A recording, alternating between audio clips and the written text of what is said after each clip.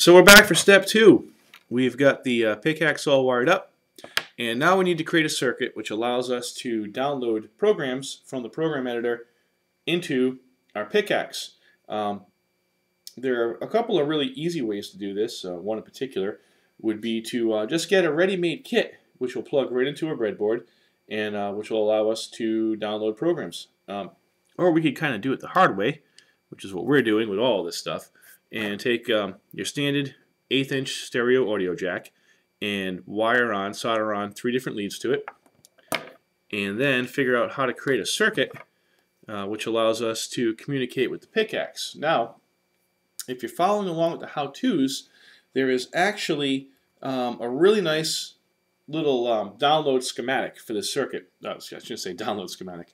Uh, circuit schematic for this, which tells us what each leg of the um, the male audio jack, and bear with me here, I'm just grabbing some stuff as I do this, goes to.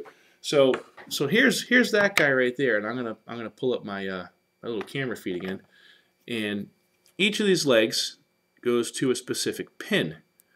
All right, so if you were to take a look once again at that schematic, you would see what they, they divided up into the, the A, B, and C. Um, A, if I'm to follow this along, goes to the serial out pin. B goes to serial in. And C just goes to ground. All right, so, all right, let me just pull this up again. So here we go. So here's our guys here. And each of these goes to a specific pin on the Picaxe. Or in fact, one just goes to, uh, to ground over here. Uh, or of course ground over here, because these are both ground. We know that because we extended these power bus rails. So without further ado, let's take a look at how we're actually going to do this. So I've taken and I've, I've wired some leads on here, right? Let me just pull that cam feed up again. So I know that when I plug this into the audio jack, that connections are going to mate with certain pins. So I'm literally going to just take this, and, you, you, know, you really can't see all this, but I'm going to plug this in like so. I'm going to take a look in the back side of this, and I'm going to figure out which connections actually go to which. Um, and I can tell you right now, I'm going to just do this one by one. I can tell that this wire right here goes to the base leg, or the um, what they have labeled as A, and A is serial out. And if I take a further look at the schematic, I can see that serial out doesn't require any resistor whatsoever. Um, serial out just goes right to the serial out pin. So if I'm to take a look at my little handy dandy uh, pinout diagram once again, I'm going to see that the serial out pin is actually C.3 or the second pin down on this side. And I'm literally just going to put that right, right in there. And now I've got one done. And this is what I meant when I said, you know, the hip bone's connected to the leg bone. Um, we don't need to be electronics wizards. We just need to go one at a time and sort of just, you know, be careful about what we're doing here. So I'm going to pull up that download circuit once again, if I can find it. And I know that one of these just went right to ground, um, which was C.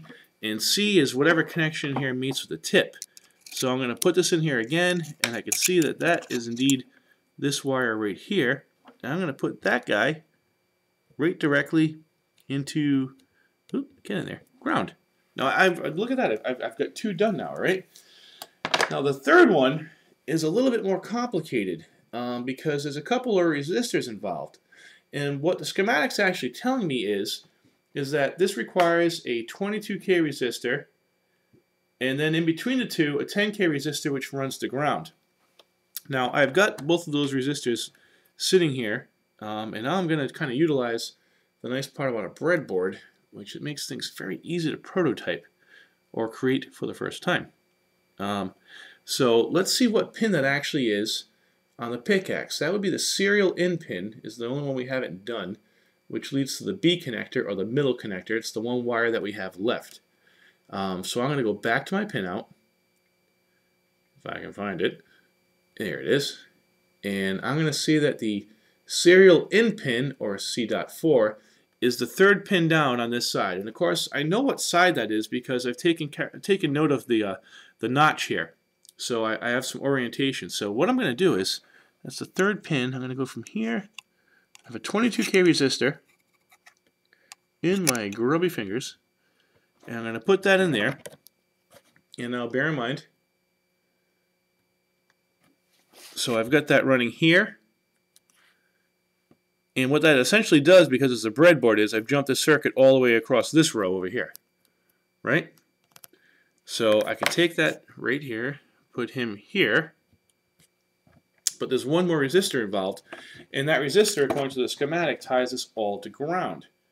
So, and that's a 10K resistor. I have one right here. I've done this before. Frankly, too many times before at this point. And I'm going to very carefully make sure that, eventually, that I move that from this same row at some point. Hope you guys aren't impatient. To ground. And then I'm going to move this whole thing very carefully over this way so I can actually use it. And I'm going to pull the side of it so you can see what I've just done. And what I've just done is essentially very simple. I've uh, very carefully followed the schematic.